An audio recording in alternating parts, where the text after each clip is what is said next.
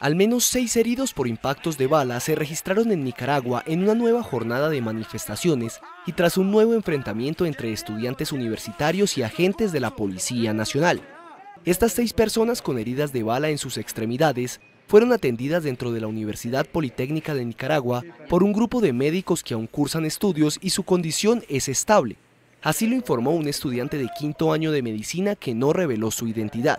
que este, nosotros como cuerpo médico le estamos salvaguardando la vida a todos los pacientes que, se, que vienen acá dentro de las instalaciones por las protestas que han sido agredidos de parte de la Policía Nacional, de lo que son la Juventud Sandinista. Ayer tuvimos prácticamente seis heridos de armas de balas por francotiradores que teníamos arriba de las casas, que teníamos también eh, rafagueados por la misma Juventud Sandinista. El joven que omitió su nombre por seguridad acusó a agentes antidisturbios junto con simpatizantes sandinistas de llegar en horas nocturnas y por la madrugada a atacar a los universitarios que con barricadas custodian el recinto estudiantil.